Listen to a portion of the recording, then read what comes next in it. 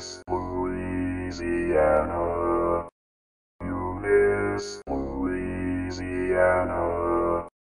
A great place to visit. You miss Louisiana.